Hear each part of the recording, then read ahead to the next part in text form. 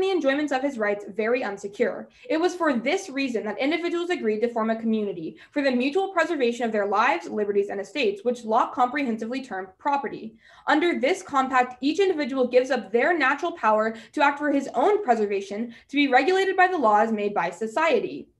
In short, according to Locke, the end of government is to direct the force of the subjects of the Commonwealth for the purpose of pre- preserving the members of the Commonwealth as a whole from peace and injury and violence. The impact of this is clear. Because governments must protect their citizens as a commonwealth, certain liberties must be surrendered by the individual to achieve maximum utility and happiness. In the case of public health emergencies, limiting liberties to keep people safe is not new. Governments have historically imposed restrictions to keep their citizenry safe. For example, secondhand smoke laws, speed limits, TSA bag checks, and many more. It is not beyond the bounds of good government to take necessary action to keep their constituents safe in regard to limiting civil liberties. Contention three international security. As a member of the international community, states have an obligation not just to themselves, but to the global community. Borderless public health emergencies require widespread action to limit the severity of said emergency. In a review of 29 studies, Grépin and Kelley Lee, a researcher who studies global health at Simon Fraser University in Vancouver, Canada, found that most models show that travel restrictions and border closures reduce the arrival of people with COVID 19 in many countries early in the outbreak. This means that because border closures through a violation of personal civil liberty yield net positive benefits for the global community, they must be justified. In regard to the COVID 19 pandemic, it has shown public health researchers that in some situations, travel restrictions help keep epidemics under control. The general feeling before was that they don't work at all and undermine human rights until studies began to reveal the effect. One effect on the ban of people leaving the Chinese city of Wuhan, where the pandemic started, found that it prevented nearly 80% of COVID 19 infections from spreading to countries outside of China in the weeks after it was imposed. The impact of this is clear because it is the obligation of the government to provide safety not just for their internal community, but for the global community as well. Violations of civil liberties can be justified to uphold governmental obligations. It is because the government must protect our individual liberty, national security, and international security I see no other ballot than affirmative.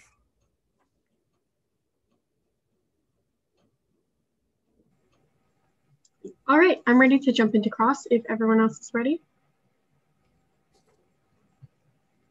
Okay, um, I'll take that as a yes. And then with that, that's three minutes, we can begin now. Okay, so firstly, I'd like to talk about framework. So on the value of justice, how do you define justice? Giving each their due. Okay, so everyone has to have their dues for justice to be achieved. Sure. So how is, let's say we fulfill the criterion. Is the only thing people do liberty? No, people are due uh, all of their natural rights, life, liberty, property. Okay, so then how does the value criterion of just restrictions on liberty actually uphold justice as a whole in all dues that people are supposed to be entitled to under your definition of justice? Okay, sure. Because what we're saying is on the negation, when we don't have violations of civil liberties, we see like direct violations of those three most basic. Well, I'm not talking about the negation. Like, let's just look at your framework in a vacuum, like outside of the context of like the actual contentions, right? How are we achieving justice and making sure everyone has their dues if we're only restricting liberty? Okay, I don't necessarily see the topicality of the question when we look at it completely dis- like completely removed from the contention level. Like the criterion exists to like evaluate contention level arguments, so I don't necessarily like understand why like well, I mean, it's framework. It's why your philosophical reasoning for this round is justified. So, can you tell me why just restrictions on liberty is the way we achieve all of our dues in a society? Sure, because when we have just restrictions on liberty, we can make sure that we're not like in a state of nature, in a state of anarchy. How does that ensure like other dues other than like liberty? Okay, are you asking? I don't necessarily think I understand your question. What we advocate for is that we have to violate certain liberties to keep people safe. That's why we have like speed limits, TSA bag checks, like all of those types of things, mask mandates, like border. Okay. This is getting a little circular, so we can move on. So, when you're talking about personal security, right, is the only evidence you read within this contention US specific? Uh, the evidence, though, may be US specific. It's like one of the most widely accepted concepts about like the idea of like constitutional democracies. So, okay, so if it's just US specific, why does this affirm as a general principle? Okay, I have a couple issues with what you're saying. I would say first, it's not just US specific because it's like a widely accepted political theory that like when people infringe against our rights, the government is obligated to step in. I mean, that's the purpose of a government. But secondly, I think that when we like take this out of context and say like it's just a US specific evidence, we're still ignoring the argument. Like you have to like disagree with the argument itself rather than just like where it's from. Okay, but you're telling me just because the Supreme Court said like mandatory vaccinations are just that mandatory vaccinations are just. So no. you can actually can you actually explain the warranting as to like why it doesn't matter that this is US specific? No, sure. Yeah, because like basically like what like what I've said a couple times is that it's like one of the most widely accepted political theories. When people are actively infringing against our rights, that's why we have a government to keep us safe, to keep people from infringing upon our rights. If that's what you disagree with, then that has nothing to do with the Supreme Court case. Okay. Is it just to take a coercive action if there's a less coercive alternative? Okay, can you repeat the question? Is it just for a government to take the most coercive action if there's a way to achieve the same end without using coercion? Okay, I think if you're relating this to topicality, which seems to be what you're doing, I think the question is no. More- just answer the question. it's well, not like specific. I'm not trying to trap you. I just want to know like how you think about this. Okay, then repeat the question. Um, that's about cross. Is it okay if I repeat the question, or do we want to move on? Okay, so I'll take that as a yes. Is it just for a government to use the most coercive action if there's a less coercive alternative? I would say, in regard to every situation, no.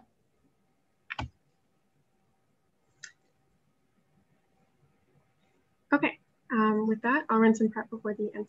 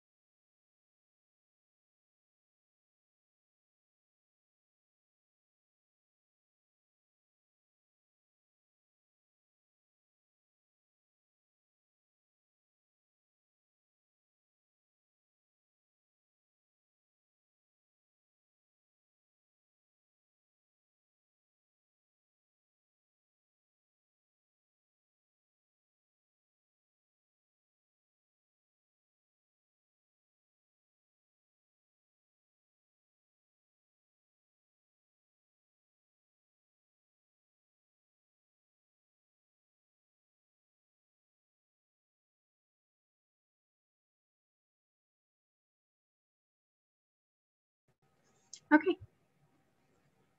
Um, that is all the prep we'll need to take. Nothing crazy for the order, just NC and then responding to the affirmative case.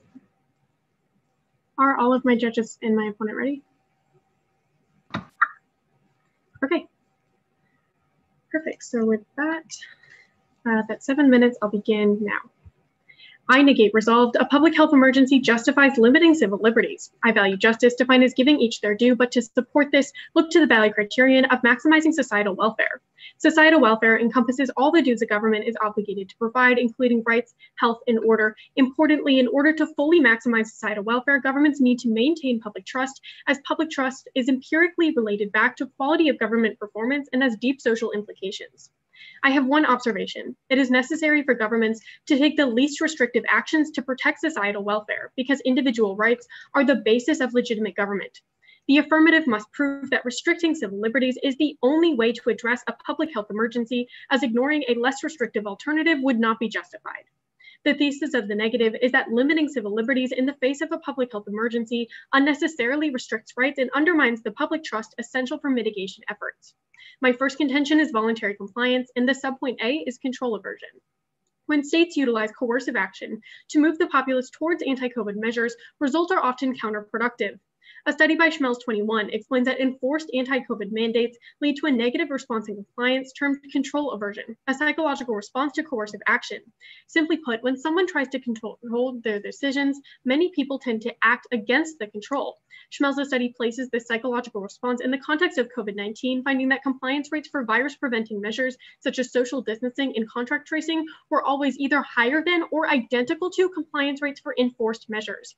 Bowles et al. 21 reinforces these findings examining vaccination uptake. The authors observe increased opposition to vaccinations that are legally required, while in contrast for voluntary vaccinations, there was higher and undiminished support. My subpoint B talks about communication. Effective communication on part of the government can eliminate the necessity of coercive measures. Reflecting on the SARS outbreak, Rugg et al. 09 reports that implementation of virus preventing behavior essential for preventing spread of disease was largely dependent on effective risk communication, not government mandates. Effective risk communication that induces realistic risk perceptions, correct knowledge and skills to promote and enable precautionary practices provides the public with both the urgency to engage in voluntary measures and the tools to do so. Watanabe and Yabu 20 analyzed Japan's voluntary lockdown system during the COVID pandemic and linked public compliance with lockdowns overwhelmingly to citizens obtaining new information through government updates. Thus, what is necessary to contain the spread of public health emergencies is not strong legally binding measures, but the provision of appropriate information that encourages people to change their behavior. My second contention is power expansion. Public health emergencies uniquely create opportunities for expansion and abuse of government power. As reinforced by Freedom House 20, the Guide of Health Crises allows governments worldwide to expand power outside what is proportionate to the crisis. Empirically, states use expansion of emergency powers beyond what is necessary, increasing rights violations and accelerating autocratization by 75%, according to Lührmann and Rooney 20. This expansion of power erodes public trust in two key ways. The first is privacy violations. According to NAE20, governments across the world have launched intrusive surveillance measures in the name of monitoring the spread of the COVID 19 virus. The second is censorship. In accordance with the findings of Shabazz 20 and Sherman 20, overreach of government censorship powers have been widely deployed against truthful information in real investigative reporting, severely curbing the freedom of expression. The impact is erosion of public trust. Zhu and Kioma of Northwestern University empirically prove political repression has a permanent negative impact on trust among both communities and the government. Wu 21 finds that globally areas with higher social cohesion and trust have increased participation in social distancing, fewer confirmed COVID-19 cases, deaths, and slower infection growth rates. Thus, I negate and will now move on to the affirmative case. So firstly, my opponent reads you this observation saying that the affirmative doesn't have to prove restricting civil liberties is justified in every single scenario. She just has to do so on principle. And I agree with this observation. She has to do so on principle. So remember, when she uses super US specific definition, it's her own burden that she sets herself that she affirms on principle. On the value of justice, we conflate here, but look to the value criterion of just restrictions on liberty. Here's my response to this. There's a few problems here. Firstly, she tells you in cross-examination that um, that like dues uh, justice as we both define it as to each their dues. So people need to have all their dues for the government to be considered just Her value criterion, however, doesn't actually uphold this conception of justice. Let's say we've completely achieved the value criterion. We have just restrictions on liberty. That doesn't mean that everyone is going to have their dues, such as life, liberty, property. That just means that we've justly restricted liberty in some circumstances. People have dues outside of liberty, such as life and property, like my opponent points out in her, their own case. So with that, their framework doesn't actually work here. Restrictions on liberties don't actually ensure dues. Uh, the framework doesn't work. Prefer justice defined by achieving societal welfare.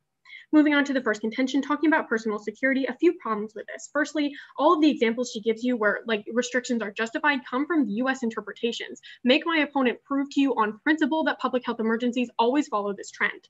But secondly, philosophically and pragmatically, I still outweigh here. So firstly, look to my observation.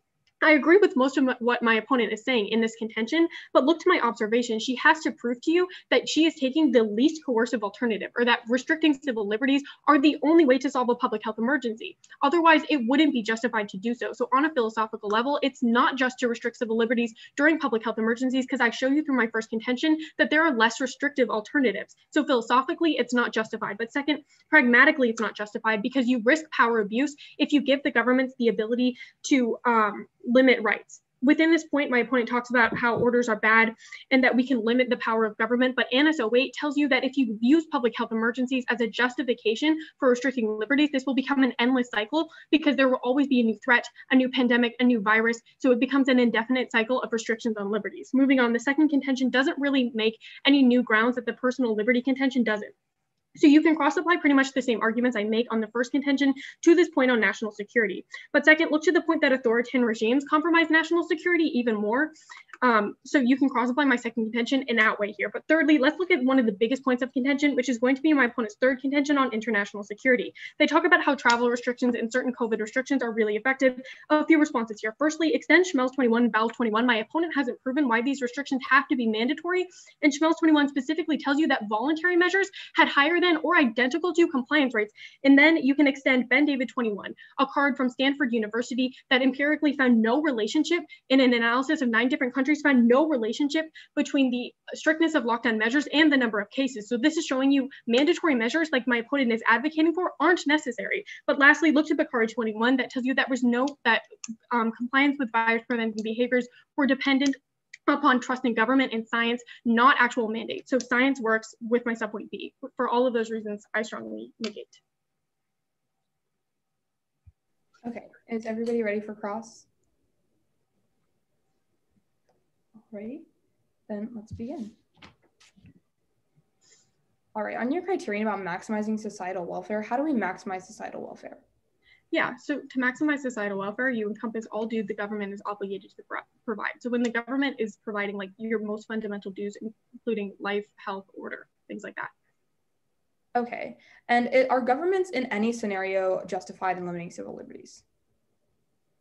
I would say specifically in a public health emergency, you have to prove that the only way to solve this is going to be restricting civil liberties. And I argue that absolutely in a public health emergency, the only option is absolutely not restricting civil liberties because I show you through like voluntary compliance and effective communication, you achieve the exact same results as you do with coercive measures, if not higher.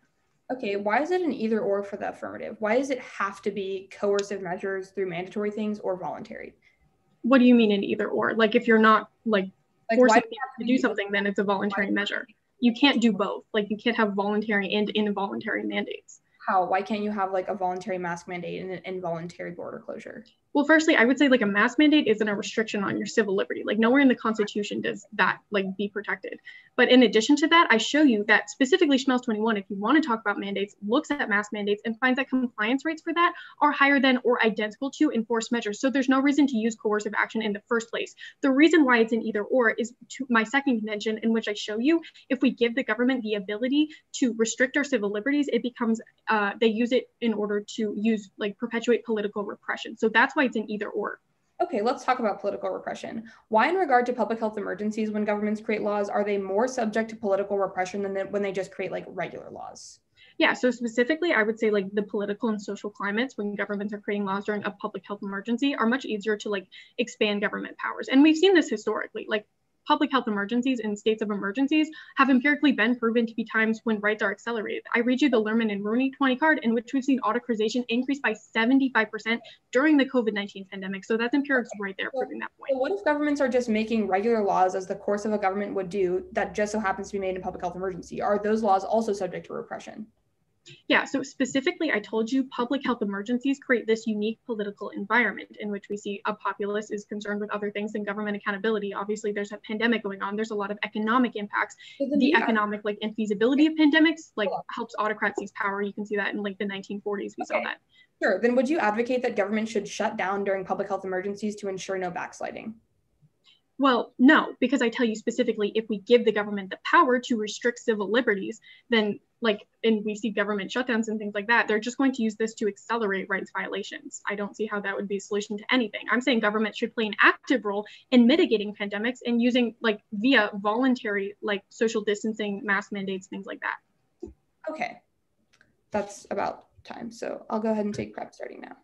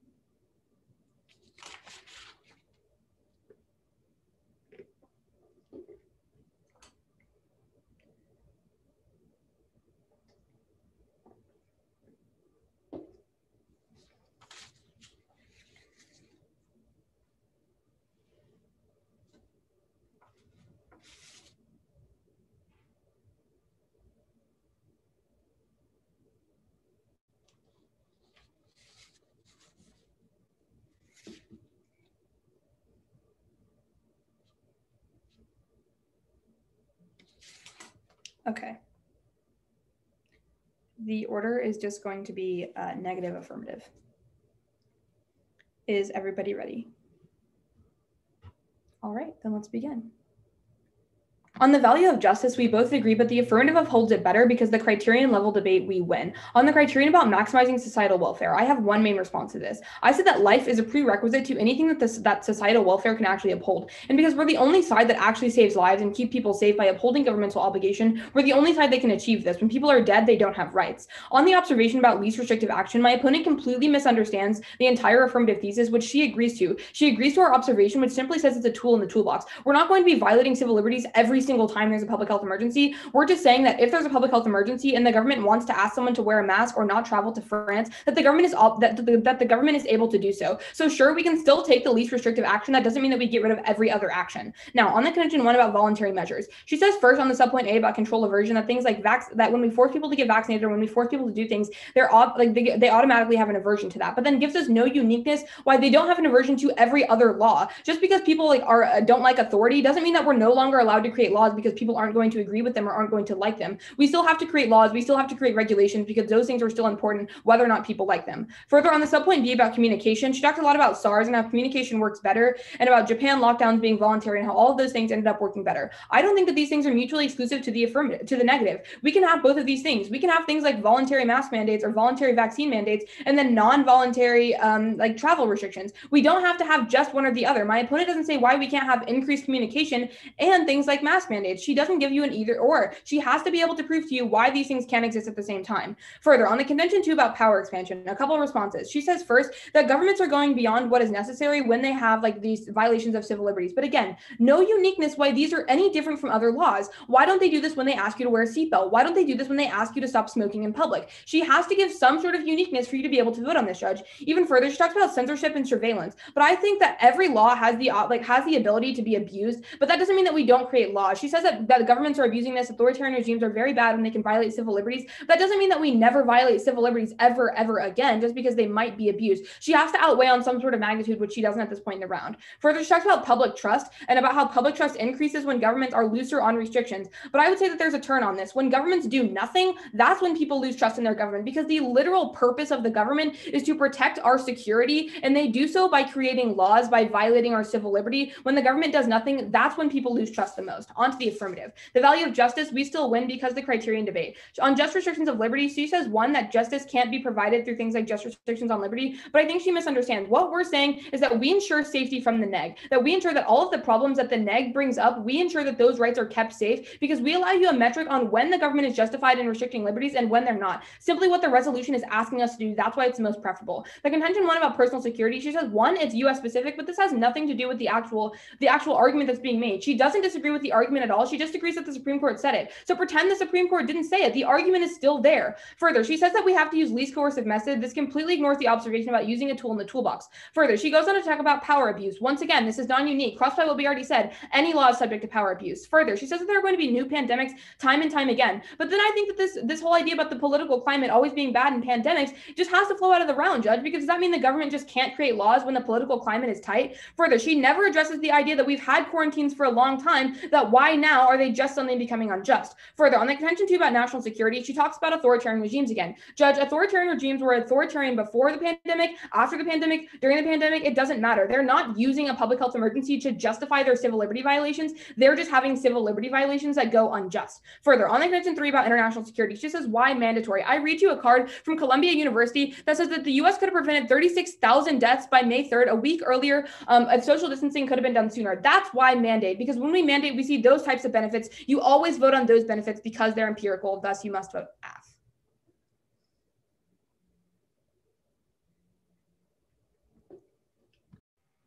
Okay.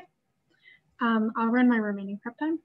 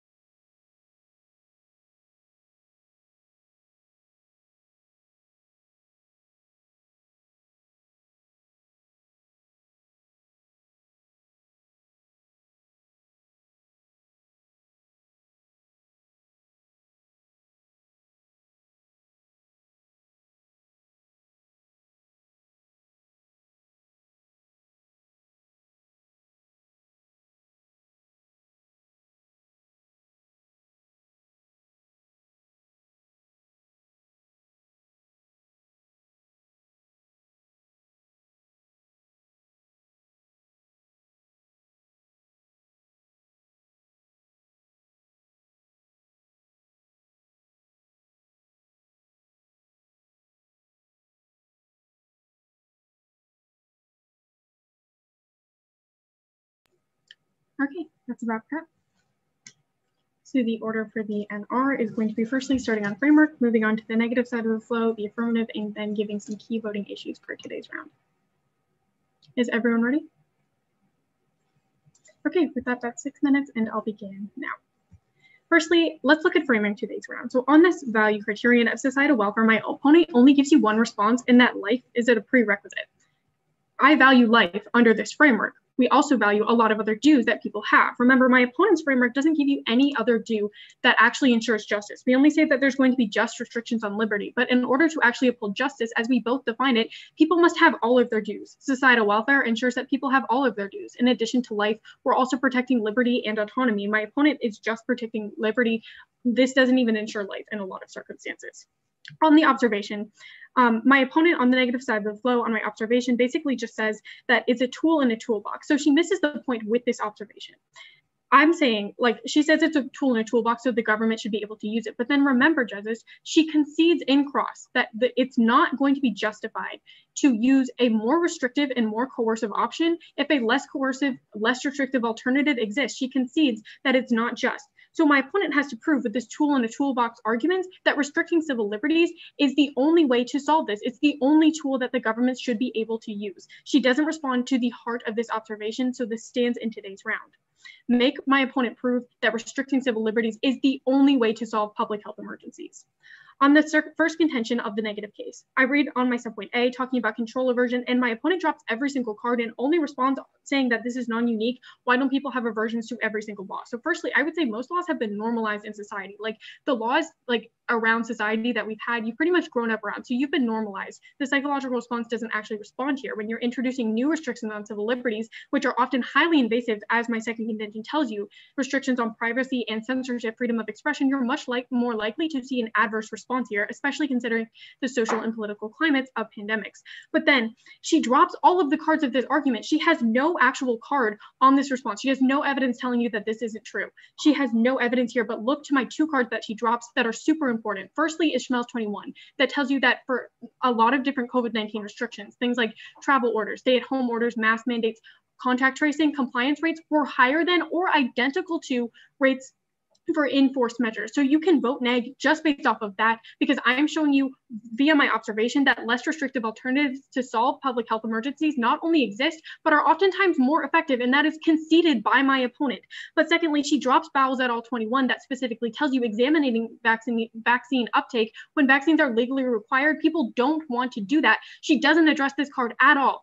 Vaccines are long-term solvency of things like pandemics and public health emergencies. So long-term solvency goes to the negative because mandated vaccinations aren't going to actually work, as this card tells you in my opponent concedes. On the subpoint B talking about communication, my opponent's only response is that it's non-unique and that we can't have both. I don't need to prove that you can have both. Per my observation, the only thing I need to prove in order to win this round is that less restrictive alternatives exist because my opponent concedes in cross that it's not just to use a coercive action when an alternative measure that's not coercive exists. She may makes that concession in cross.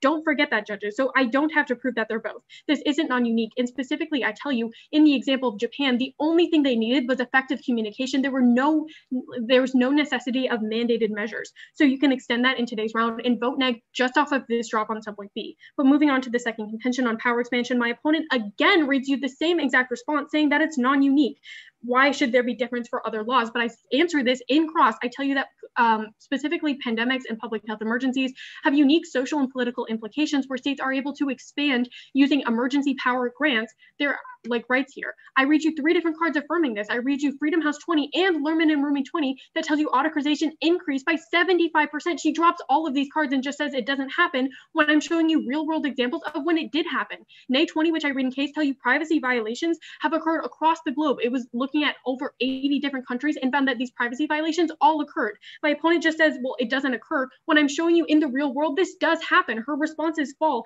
and you can vote neg just based off of that. On the point on public trust, she says that government doing nothing harms trust. But again, it's the thesis of the negative case. Not that we do nothing. We should absolutely not do nothing. We should be promoting things like effective communication and voluntary compliance measures, which my opponent cannot prove are not as effective as mandatory measures. So with that, let's move on to the affirmative side of the flow. On the first contention, talking about personal security, I tell you why philosophically and um, pragmatically it's justified. It's uh, limiting, restricting civil liberties is not going to be justified here. Remember this observation. She basically says that she already responded to it, but you can cross apply my responses there. On the second contention, there's really no points of contention here. She's just reiterating the same ideas within the first contention, but on the last contention, talking about national security, one of our biggest points of clash and why the negative wins today's round, she makes some huge drops. So firstly, she drops Schmelz and Bowles 21, which specifically tell you voluntary measures are even more effective. She reads you a card from Columbia saying the US could have prevented if they started sooner. So firstly, this isn't a problem with voluntary measures. This is a problem with communication. If the government had communicated that you need to be engaging in these practices more quickly, then we wouldn't have seen this happen. This isn't a problem with non-mandatory. Make my opponent prove that mandatory is required because she hasn't read you a single card with that uniqueness in this entire case. But secondly, she drops Bendavid 21, an analysis from Stanford University analyzing 10 different countries that found no correlation between strictness of measures and um, number of cases. So specifically, this was a huge drop in today's round. So the reasons why you vote negative, let's go into key voting issues. The main reason you vote negative is because I best uphold justice on my side of the law through protecting human lives. Remember, my opponent concedes in cross-examination that it's not just for a government to take the most coercive measure when a lesser one exists, and then she drops all of the cards on my first contention telling you that voluntary compliance has even higher rates for both vaccinations and that, and communication on its own is enough to change people's behavior. So for all of these reasons, I strongly negate. Okay, I'll take about 30 seconds of prep.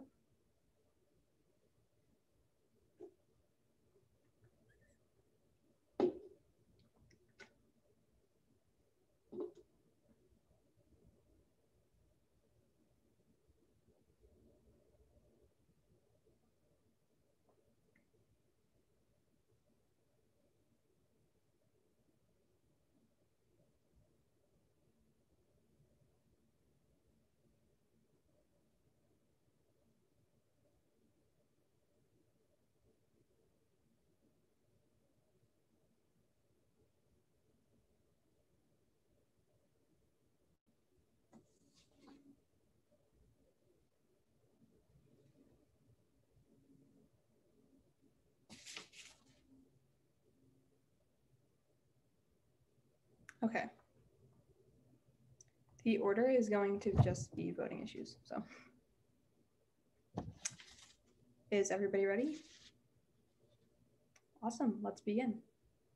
The first reason that you vote affirmative is because when you do, you see that the government can have a tool in the toolbox that is violating civil liberties. My opponent tries to convince you in her last speech that we can't have this framework because the idea that was created in cross examination was that when a less coercive measure is available, it is completely unjust to use any other measure. But, Judge, I'm telling you that this isn't always true. My opponent tries to take what was said in the abstract in cross examination and try to apply it to public health emergencies. I tried in cross examination to tell her that we can't just apply that abstract to public health emergencies. That's because we're like months, almost a year into the, like, we're over a year into the pandemic, and there are still plenty of people who aren't vaccinated. The majority of people are not vaccinated. That's because voluntary measures don't always work. That's why things like mandatory measures have to be taken into account. My opponent tries to convince you that voluntary measures work every single time. And sure, voluntary measures might work. Voluntary measures might have benefit. They can exist in the in the affirmative world. That doesn't mean that just because voluntary measures exist, that civil liberty violations can no longer exist. Like I've told you time and time again that my opponent has yet to address, we can have things like voluntary mask mandates, but involuntary, you know, travel restrictions these things can exist at the same time.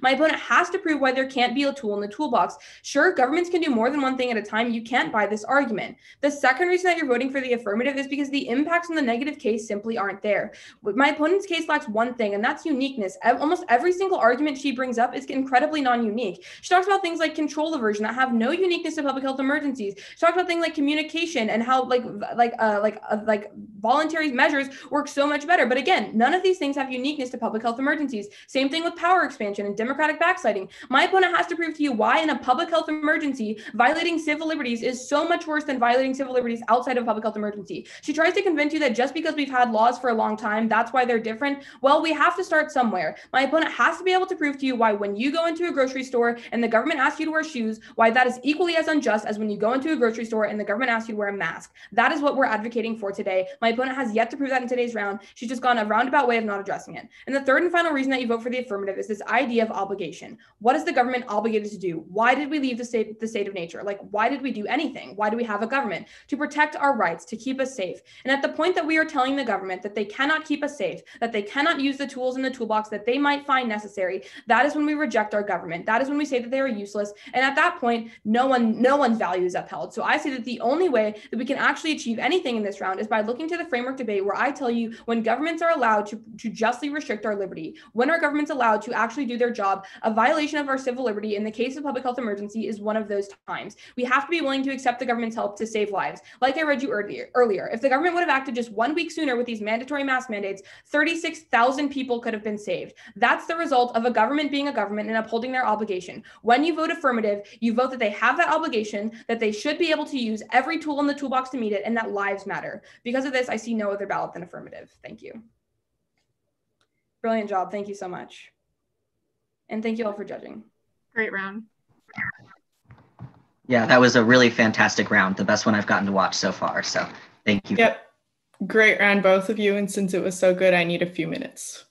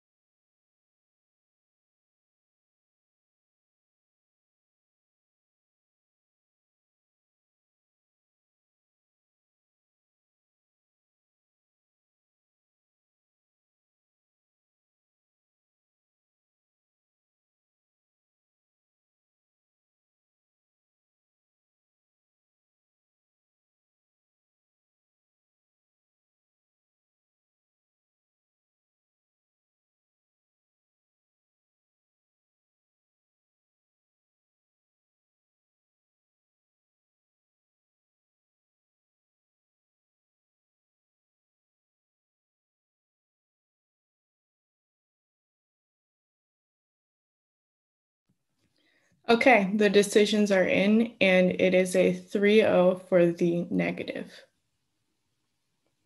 If all the judges could confirm, I did in fact vote negative. Everyone else? Yes, I did as well. I voted negative. All right. Congratulations to both debaters. It was an excellent round. It was very hard to decide. Congratulations to the to both of you for being in this deep.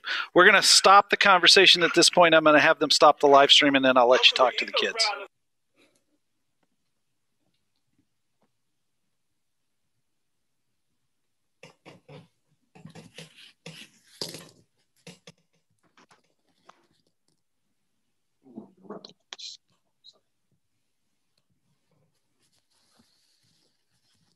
I assume they stopped it. I've, I've got to go. What I have is on the ballot, but thank you. If either of you have questions, I'm happy to answer them. Or Yeah, you can you can step out if you're not going to talk to the kids, judges. If you want to, let me just confirm that the stream is stopped before you do that.